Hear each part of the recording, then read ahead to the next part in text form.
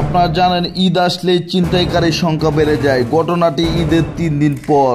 এই লোকটি উজানবাটি বাসে ডাকা হওয়ার পরিকল্পনা করছে তার মেয়েকে নিয়ে গার্মেন্টসে চাকরি করে। তারপর এক পর্যায়ে মাস্ক পরা দুই চিন্তাইকারী তাকে টার্গেট করছে। কোনোভাবেই লোকটি বুঝতেছে না তাদেরকে চিন্তাইকারী টার্গেট করছে।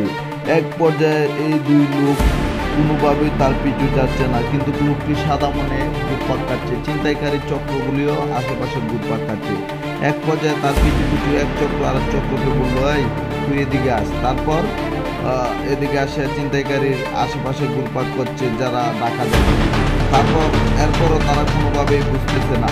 আপনারা একটু লক্ষ্য করে দেখেন, ছিনতাইকারীরা সবসময় ছদ্মবেশ ধারণ করে। দেখেন দুটা মাস্ক করা যাবে, তাদের পুলিশ ক্যামেরায় না ধরা যায়। তারপর এক পর্যায়ে বাসে বের করে একটা আসছে বাস স্ট্যান্ড থেকে বাপ মেয়ে শুধু ঘুরপাক কাটছে তারপর ঘুরপাক কাটছে বাপ মেয়েকে বলল তোর খারাপ লাগতেছে? তারপর মেয়ে বলতেছে, না, খারাপ লাগে না, যে, আব্বু বাস কখন তারপর বাপ বলছে আসবে কিছুক্ষণ পর এইভাবে বাপ মেয়ে কথা বলতেছে, আর তারা বৃষ্টির মধ্যে শুধু কাদা পানির মধ্যে ঘুরপাক কাটছে চিন্তাইকারী কিন্তু তাদের টার্গেটই করছে, তারা এখনও বুঝতে পারছে না, দেখেন তার কিছু কিছু কীভাবে ঘুরছে। তারপর এক পর্যায়ে তারা যেতে যেতে বাস কাউন্টারের দিকে যেতে লাগল, বাবা, কোথায় জানি ফোন দিচ্ছে। তারপর বাস কাউন্টারের দিকে যাওয়ার পর সে বাবা আগে বলতেছে, বুঝলাম না, বিশ মিনিট পর বাসটা আসার কথা এখনও আসতেছে না কেন, সমস্যাটা কি? মেয়েও বাবাকে বলতেছে, বাবা, আমার আর ভালো লাগতেছে না, তুমি বলো, তুমি কোথায় নিয়ে আসছো, এত দেরি হইতেছে কে তারপরও তারা মানে এখনও বুঝতেছে না চিন্তাকারী চক্র যে তাদের টার্গেট করছে। দেখেন, দুই পাশে দুইটা চক্র ঘুরপাক কাটছে বাসের যারা টিকিট বিক্রি করে, তারা হয়তো জানে না যে এখানে এই চক্রের সদস্যরা ঘুরপাক কাটছে কারণ তারা নিত্য নতুন জায়গা পরিবর্তন করে। আপনারা একটা কথা মনে রাখবেন, এই চিন্তাইকারী চক্রের সদস্য সবসময় বাস স্ট্যান্ড রেলওয়ে স্টেশন এবং যাত্রাপথে থাকে, নৌপথে থাকে। আপনারা জানেন যে কোনো মানুষ বীরমুখী জায়গার মধ্যে থাকে অথবা নীরব জায়গার মধ্যে থাকে। নীরব জায়গার মধ্যে তারা ফাঁদ পাতে, একা পেলে ধরে। আর বীর জায়গার মধ্যে তারা কৌশলে প্রতারণা করে ধরে। হয়তো কোনো খাবারের মধ্যে মেডিসিন দিয়ে বা যে কোনো একটা কৌশলে তাদেরকে মানে তাদের মাল, সামান অপহরণ করে নিয়ে যায়। আপনারা আরেকটি কথা মনে রাখবেন, এই চক্র কিন্তু একা কাজ সারে না। আপনারা দেখতেছেন মাঠের চক্র আছে দুইজন। এছাড়াও তাদের পিছনে ব্যাগিং দেওয়ার মতো আরও দশ বারো জন আছে। কারণ তাদের যদি কোনো ঝামেলায় পড়ে যায়, তারা যাতে তাকে পাবলিকের মায়ের থেকে বাঁচিয়ে দিতে পারে।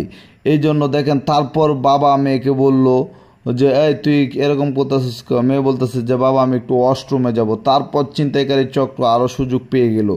তারপর তাদের পিছু পিছু ছুটলো। আস্তে আস্তে যাচ্ছে আর চিন্তাইকারী চক্র তাদের পাশে আস্তে আস্তে করে যাচ্ছে। এক পর্যায়ে তারা ভিতরের দিকে রওনা দিচ্ছে আর চিন্তাইকারী চক্র দুই সদস্য মহাকুশি।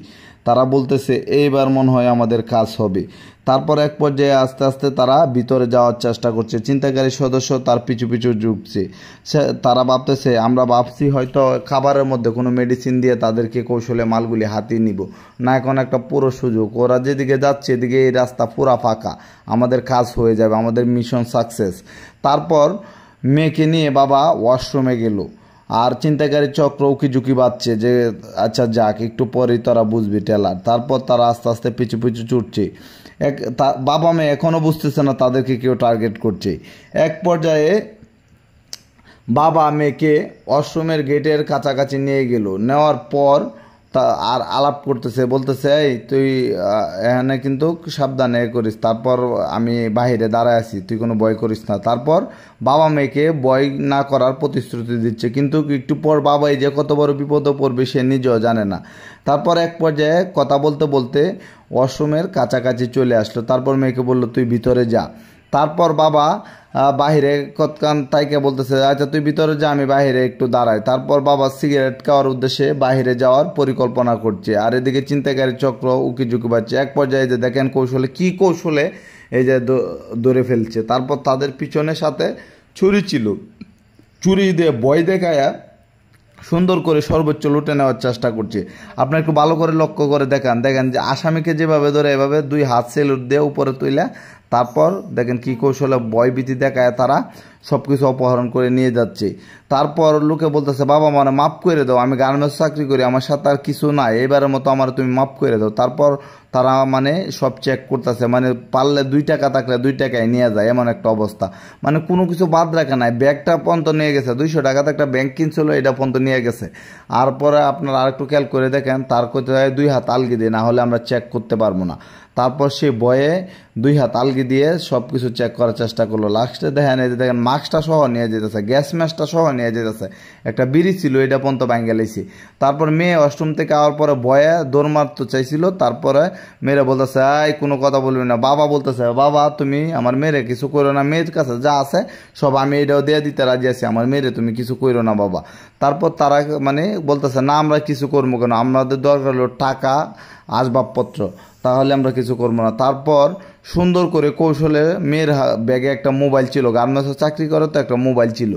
তারপরে যে মোবাইলটা দেখেন কি কৌশলে নিয়ে বলতেছে, এই, কথা বলবি না, কথা বললেই কিন্তু পার দেবো। তার বাবা বলতেছে আইসা পর আমাদের কাছে আর কিছু নাই। তারপর বাবা আর মেয়ে এক পর্যায়ে তাদেরকে নিঃস্ব করে তাদেরকে ছেড়ে দিল। বাবা বলল যে, আমরা কল্পনাও করতে পারি না, আজকে আমাদের ঢাকা যাওয়ার বাড়া নাই। যদি সাবধানে থাকতাম, আজকে এই ঘটনা ঘটতো না। ওরা যে আমার অনেক কান ধরে টার্গেট